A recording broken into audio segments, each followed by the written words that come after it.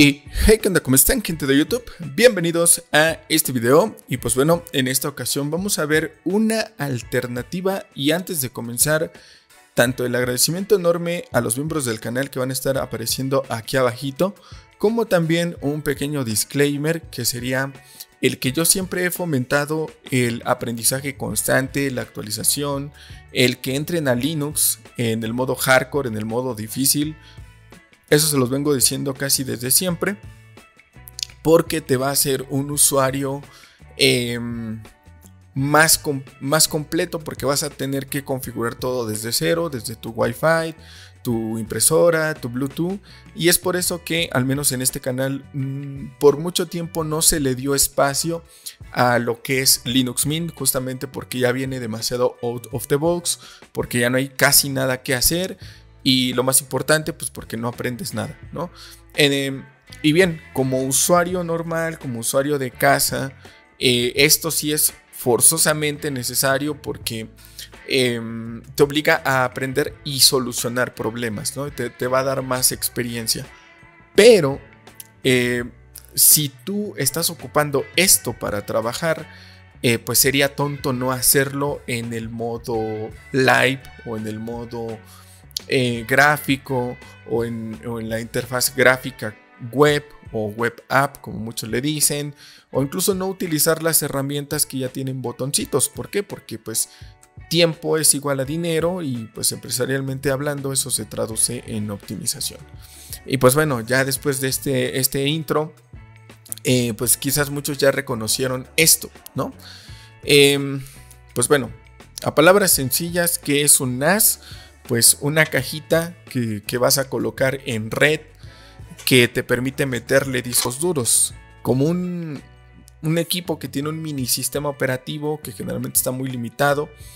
Eh, donde lo único que vas a hacer es poder acceder remotamente a esos discos duros desde cualquier otro equipo y tener un servidor normal. Ahora bien, Em, esto te va a ahorrar demasiado tiempo, que eso es lo principal. Y aquí sí es donde, por eso les digo, o sea, si se escucha un tanto contradictorio con lo que tiene propósito del canal, pues en estas serían de esas poquitas excepciones donde, como les digo, sería tonto no hacerlo teniendo estas facilidades y aparte aquí te da la bienvenida de lo que es eh, Sigma NAS, es un proyecto derivado de FreeBSD. Eh, muchos en algún momento ya llegaron a conocer, por ejemplo, a FreeNAS o incluso el más moderno que es el TrueNAS, pero tiene algunas o carece características de, aquí, ¿no? Que te está permitiendo, como los RAID 015, este, por software, obviamente. Em, incluye el ZFS. Obviamente, lo ideal sería que tú lo tuvieras en disco duro físico. Eh, pero, pues bueno, esto también em, lo que a algunos no les va a gustar es que si tú te vas aquí en el botón de descargas, eh, te vas aquí en el de download, está subido a esta página que se llama SourceForge. Eh, nos vamos a ir a la última versión. Yo sugiero que si lo vas a hacer en hardware 100% real, no fake, te vayas directamente a la versión estable. ¿Cómo sabes cuál es esa? Porque es la que tiene más descargas. La beta, al menos que quieras probar características especiales, pero siempre quédate con la imagen ISO. Ahora, eh, Sigma NAS que te está ofreciendo, pues bueno, la posibilidad también de actualizar de una versión anterior, es decir, de la versión 11 o 12 a la 13 directamente desde un modo live. Eh, y bueno, los requisitos son menos que otras alternativas que son todavía más conocidas que estas. Ahora, yo me voy a pasar para acá, voy a reiniciar la máquina y le voy a dar en bootear desde el Live CD para que vean cómo es que, que aparece. Permítanme unos momentos que termine de reiniciar. Ahorita lo pongo desde aquí, desde cero y nos pasamos de este lado. Vamos a poner la pantalla completa para el usuario que ya no ve. Vamos, Live CD. Eh, bootear directamente. Como ven está basado en FreeBSD, aquí carga algunos módulos del kernel, aquí también este, verifica que se cumplan ciertas condiciones como la conexión a internet, este, que tenga ciertas características de hardware, te está cargando los drivers más sencillitos, está checando cuántos discos duros tengas conectados. Eh, principalmente son configuraciones de red, que IPv6, IPv4 y demás cuestiones por allí. Este, Forza el HTTPS y demás, ¿no? Entonces, em, obviamente también si, eh, si, es posible se actualiza. Eh, por eso ven que está descargando algunas cosillas por ahí. Pero a manera sencilla eh, está muy rápido, ¿no? Para lo que te está ofreciendo está muy rápido. Vamos a esperar unos momentitos. la contraseña del usuario que viene por defecto es admin. O puede que también el usuario sea admin y la contraseña sea sigmanas con X o viceversa, dependiendo de la versión, si es la versión viejita o la versión más moderna. Eh, simplemente para que lo tomen en cuenta, pero de preferencia usuario admin, contraseña sigmanas o viceversa. Y bueno, llegados a este punto vamos a tener las siguientes opciones. Vamos a ocultar momentáneamente al Satiel y a los patrones del canal. ¿no? Bueno, eh, opción 1, configurar tu interfaz de red. Opción 2, configurar tu red eh, IP, dirección IP. Resetear eh, la web, la GUID User Interface, la interfaz guiada web en cuanto a la contraseña. Resetear prácticamente todo por defecto, hacer un ping al host, tener una shell, porque pues bueno, siempre está bueno llevarte esto en una USB o incluso instalarlo en una USB, eh, reiniciar el servidor, apagar el servidor, instalar desde un eh, Live CD o USB, configurar el host y permitir la interfaz web, reiniciar la interfaz web, reiniciar la interfaz web y forzar el HTTP por el puerto 80 y pues bueno, la distribución de teclado, ¿no? Ahora, nosotros nos vamos a ir directamente por la opción 9, que es la de instalación, así que le damos aquí 9. Ajá. Vamos a darle un enter y vamos a regresar para que me vean porque le dicen, hey Satiel, ¿por qué no te grabas? Te queremos ver, ¿no? Em, ahora, aquí nos dice, em, instalar este sistema en un hard disk, disco duro, en una SSD, em, en una USB upgradear desde un modo live, es decir, lo que les comentaba de la versión 11 a la versión más actual, que sería esta. Instalar todo el sistema operativo eh, desde un disco duro, más un SSD, más la partición de datos, que no sé por qué harían eso eh, hasta este punto. Eh, tener una swap, upgradear prácticamente todo, es decir, que no nada más se base en los paquetes a tu versión viejita, sino realmente actualizarlo, ¿no? Eh, hacerle el upgrade y convertirlo a la última versión o lanzar el instalador del eh, la opción del Zbyte File System o Satiel File System para los amigos. Y bueno en este caso lo que vamos a hacer es instalarlo en este equipo en el que tenemos ejemplo y vamos a darle no opción de instalar. Ahora, esto es de las razones por las cuales te vas a ir por Sigma NAS, porque te permite el with partition table, te permite el EFI, te permite el MBR, que es el legacy, el GPT, el EFI o el MBR, pero sin las opciones del swap y datos, ¿no? Em, yo como es un ejemplo, me voy a quedar con la versión legacy porque así viene configurado, pero son muy poquitos pasos, o sea, el hardware mínimo eh, está muy chiquito, o sea, es, algo que ni tiene pantalla, su motherboard está muy chiquitita, prácticamente es una Raspberry con patas, o sea, hasta tú agarras una calculadora y le vas a poder instalar esto. Y ahorita se van a dar cuenta por qué. Vamos a dar enter, te, está pidiendo tres particiones, vamos a dar un OK. Te va a decir de dónde quieres sacar el sistema. Ah, pues de mi, de mi CD, de mi USB Live. A dónde lo quieres mandar a mi máquina virtual, que en este caso sería tu, tu NAS de verdad, ¿no? Tú que si eres gente bien, si eres gente pudiente, de la burguesía y demás, pues tú sí puedes instalarlo ahí. Yo no, porque pues, no donan. Ahora, em, el tamaño para el sistema operativo realmente no necesita casi nada. O sea, le digo, literal te trompiezas en la calle, levantas una piedra, ahí le puedes instalar esto. O sea, 248 megabytes que serían 2 gigas. O sea, en 2 gigas lo puedes instalar. Este, el mínimo son 512 para aquellos que utilizan Kemu y VirtualBox, lo van a poder instalar. Eh, quienes quieren ocupar más RAM, eh, pues sí lo van a poder utilizar.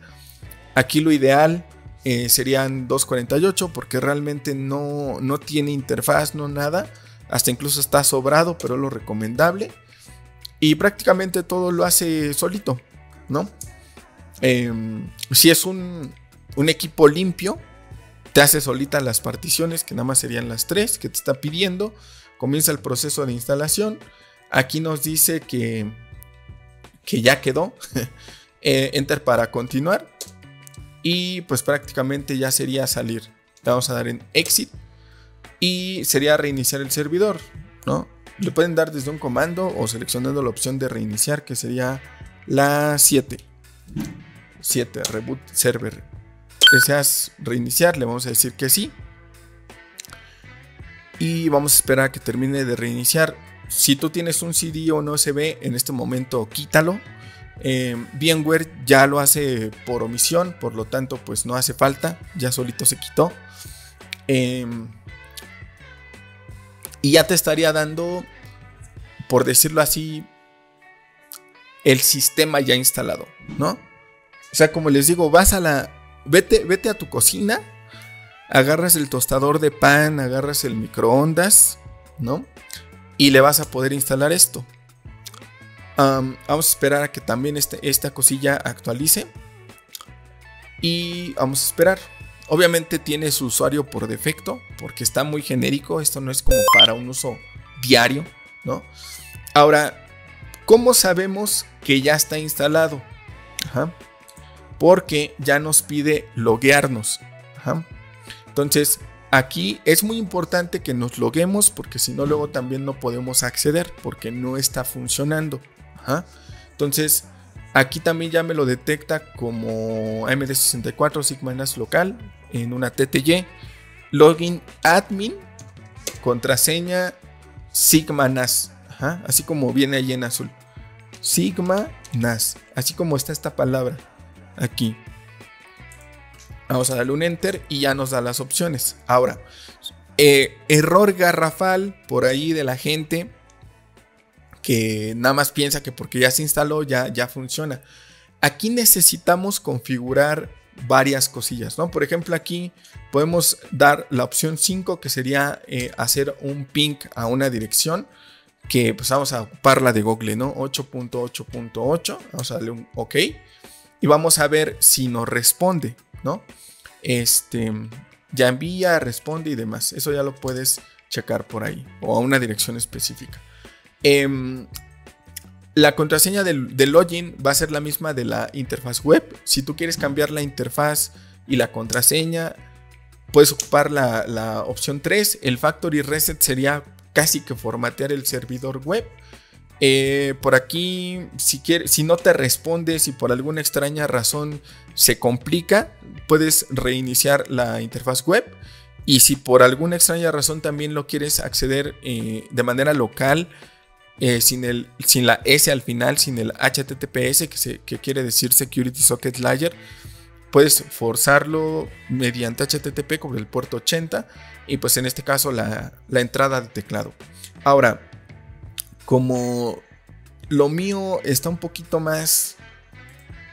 Mm, pues es que no me quiero escuchar grosero, pero moderno.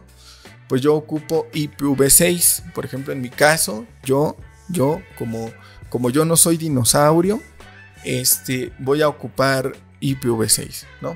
Entonces yo le voy a poner 2, la opción 2. Y aquí nos dice que si deseas utilizar DHP para la interfaz, le decimos que sí. ¿Deseas configurar la IPv6 para esta interfaz? Le decimos que sí.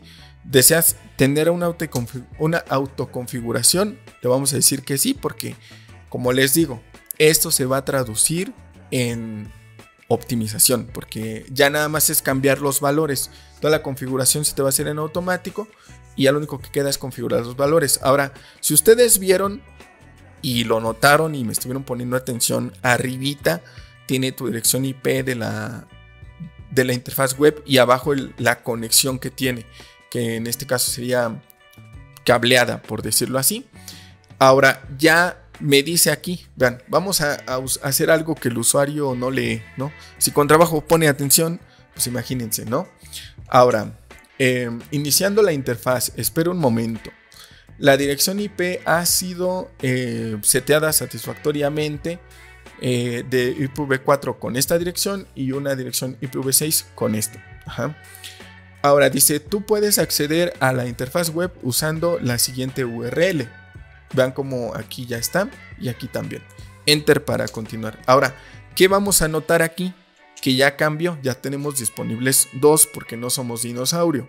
Ahora, esto en español, ¿en qué se traduce? Que si yo me regreso aquí a mi navegador, es más, voy a cerrar todo para que no vean que, ay, Satiel, tú, tú, tú truqueas tus videos como mi LinuxTuber. Pues claro que no.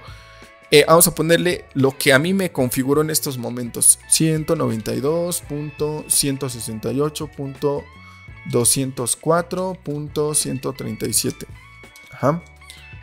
Vamos a darle. Y ya me va a dar esta interfaz, ¿no? Ahora, eh, a esto lo voy a poner a pantalla completa para el usuario que ya no ve. Este es mi Google Chrome. Eh, puedes acceder hasta en tu teléfono, ¿no? Usuario admin, ajá, porque no hemos cambiado nada. Contraseña, aquí vamos a darle un clic y vamos a ponerle eh, Sigma NAS, ¿no? Sigma NAS. Y le vamos a dar en iniciar sesión. Y a partir de aquí, bueno, aquí le voy a decir que nunca, porque pues, no lo voy a ocupar como tal directamente. Vean cómo es mi navegador, es mi Google Chrome. Este, en vez de gestionarlo desde acá, esto lo único que tenemos que fijarnos es en tenerlo corriendo. Y a partir de aquí yo lo voy a poner a pantalla completa. Eh, podemos tener un, acceso del home. En este caso, pues datos del equipo. Por ejemplo, hoy es dominguito, por eso estoy grabando porque tengo tiempo. El sistema operativo FreeBSD 13.2, Sigma NAS, eh, cuando se instaló, la fecha, mi plataforma que es mi Ryzen 3800X. Gracias al amigo Cristian Salguera. Saludotes hasta California. em, sistema, pues bueno, esta es información general, genérica. Este, cuánto tiempo tiene encendido. Cambios en la configuración, cuándo fueron. Esto es para monitorearlo. Cuántos núcleos tiene. El uso de memoria y demás cuestiones. El uso de la swap, si lo quieres cambiar, si le, si le quieres seguir meneando por ahí, también puedes. Eh, opciones avanzadas, ¿no? Por ejemplo, habilitar esto de cero conf para advertir otros dispositivos, deshabilitar el administrador de archivos, deshabilitar revisar si hay un nuevo firmware. Esto porque las actualizaciones suelen ser un poquito molestas. Este, altavoz interno, más cuestiones, opciones de la mal llamada consola, eh, la pantalla de bienvenida, bienvenido a Satiel NAS, ¿no? Por ejemplo, mensaje del día. Y prácticamente desde aquí, pues bueno, lo puedes eh, administrar, le puedes agregar una dirección de correo electrónico, activar distintos protocolos, etcétera, etcétera, etcétera, y gestionar prácticamente todo desde aquí, ¿no? Entonces te puede servir para muchísimas cosas, a cada cuánto tiempo se va a actualizar, este, ya sería cuestión de que tú lo checaras. Si es que estás utilizando swap, también si lo quieres hacer desde un archivo o desde directamente una partición, los comandos generales, este, esto de cron, el loader, ver que sí se va a permitir, que no, y demás cuestiones, ¿no? Entonces, eh, pues bueno, muchos estuvieron atorando en esta parte. Por eso es que pues me vi en la penosa necesidad de, de, de tenerlo gestión de interfaces. Eh, la administración de los discos, si es que quieres hacer un RAID, el Satiel File System, cifrado, punto de montaje, accesos, usuarios y grupos, eh, directorio activo, que también ya se habló del tema en el Twitch, los servicios que quieres em, tener aquí, bueno, también si es que están soportados, ¿no? Porque hay algunos NAS que no tienen ciertas características, este, aquí pues bueno, si lo quieres virtualizar, el estado del sistema, Em, los procesos, si los quieres monitorear desde aquí, prácticamente es como un todo en uno. Entonces vean cómo, em, a diferencia de ser un dinosaurio y manejarlo así, ¿no? O sea, que sería, por ejemplo, la opción este, 6 sería entrar a una shell. Este, sería prácticamente estarlo manejando todo así, ¿no? Este, por ejemplo, no sé, eh, free menos H. Si quisieras ver. Ah, no creo que. Enman está soportado. H-top, creo que tampoco. Eh, así, pues no, no sé, este top. El, top normalito. En vez de estar checando todo esto así. Ah, ah, ah, todo tan cuadrado, tan feo. Así tan ilegible, tan desacomodado. No puedes entrar a los servicios. Demás pues mejor como la gente decente y tienes todo aquí organizado y eh, tienes un acceso prácticamente a todo, ¿no? Incluso a los servicios. O sea, esto es a lo que voy. Te facilita el uso del sistema. Diagnóstico, información. Esto creo que no lo debería de estar mostrando.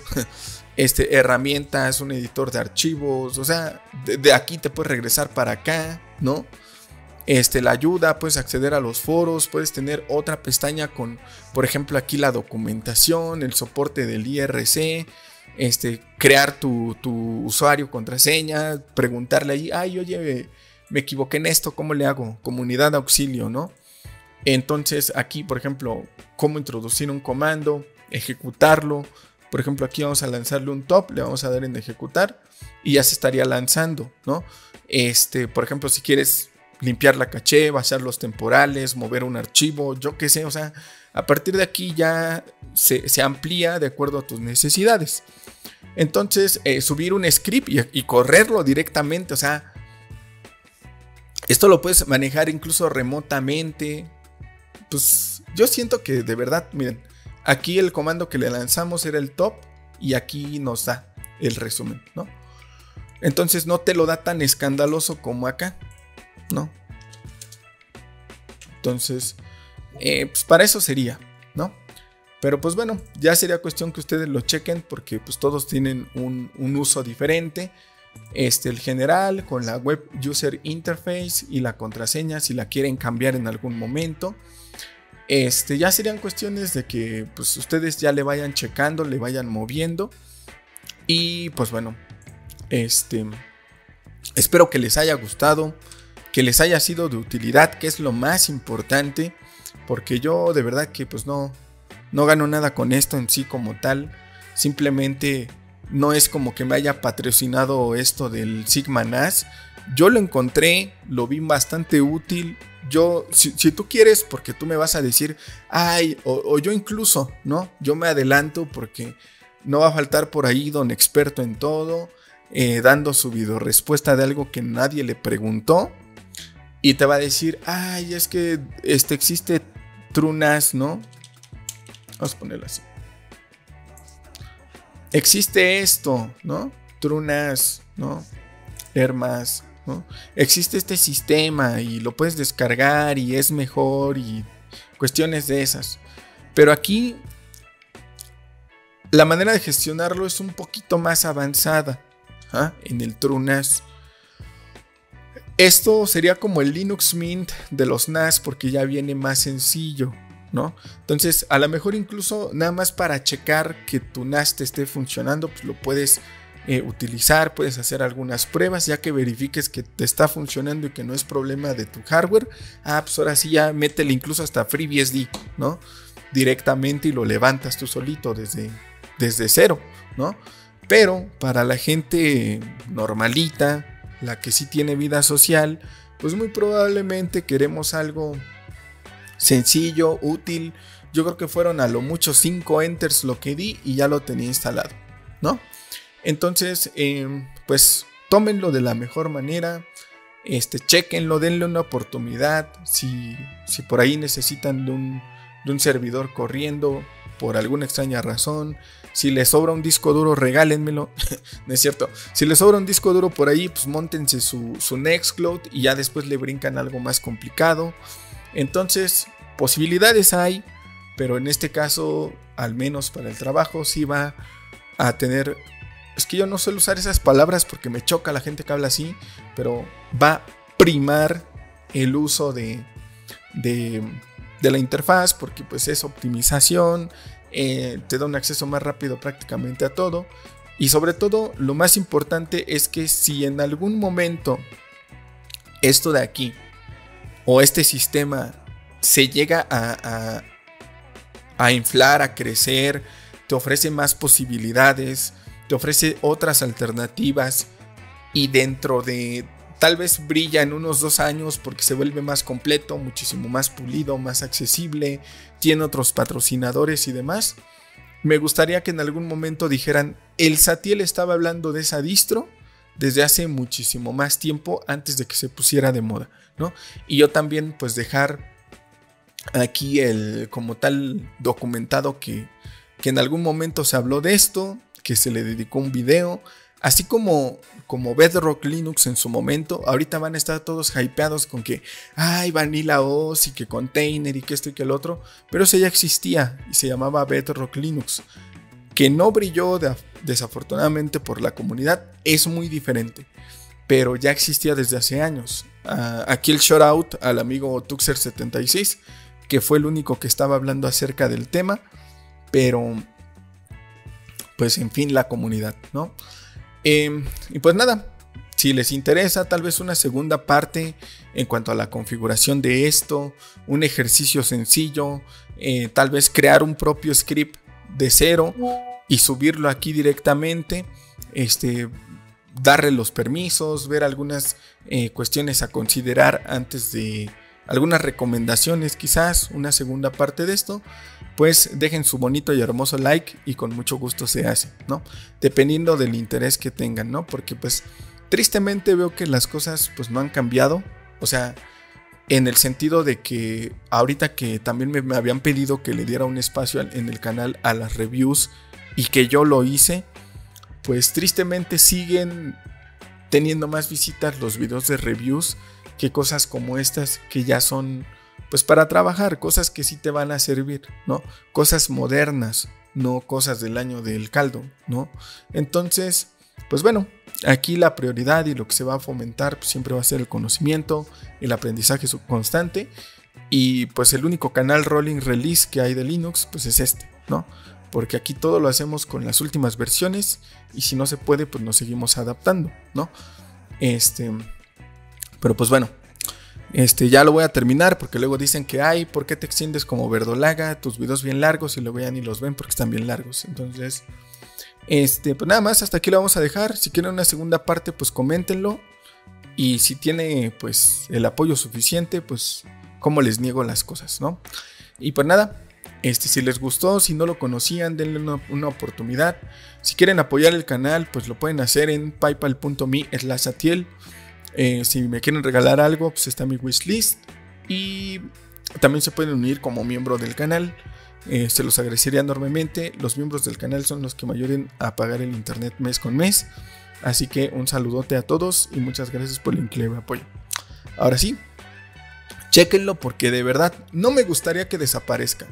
Aquí esto sí ya tómenlo por afuera del, del video hay proyectos que son buenísimos, que tienen un potencial gigante, pero desafortunadamente por, por falta de, de atención, los desarrolladores se desaniman, ellos también, pues ahora sí que le invierten en recursos, tiempo y demás, en que sea accesible, en, en, dar soporte incluso, y para que la gente lo ignore, para que la gente no esté visitando los sitios a los que ellos invirtieron, que serían los foros, eh, demás, a veces las distros desaparecen justamente por eso, ¿no?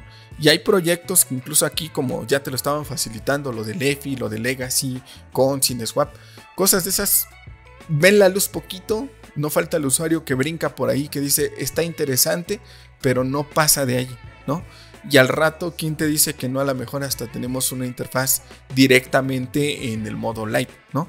Pero pues, o algo más portable, ¿no? O sobre todo eh, un uso más mm, complejo, tanto para el usuario avanzado que realmente sea avanzado y manejar los writes directamente desde el modo live, eh, semiautomático y en vez de tenerlo tan, tan, tan secuencial, ¿no? Pero pues bueno, ya sería como sobreextenderse en este aspecto. Pero pues bueno, si les interesa, ahí lo dejo sobre la mesa. Este, si lo quieren probar, pues también coméntenme su experiencia con esto, el uso que le darían, qué impresión les dio, qué si les gustó, qué no les gustó, qué les gustaría que tuviera este sistema, tal vez lo que le auguran para, no sé, unas 3, 4 versiones arriba, qué esperan de esto, si ya lo conocían. Este, a mí me ayuda bastante porque pues puedo saber tanto qué conocimiento tiene el usuario que me ve y también para ya no empezar desde cero, porque si veo que son cosas un poco más complejas, pues ya me voy directamente a, asumir que ya saben hacer un RAID y me brinco directamente a la administración y gestión, ¿no? Entonces, este, pues nada más, pero bueno, sería prácticamente todo, o imitar todo lo que te está dando este Sigma NAS, pero tal vez en un TrueNAS, como se haría, o directamente en un FreeBSD, o sea, Posibilidades hay, videos hay. El Satiel ahorita tiene tiempo, también tiene tiempo.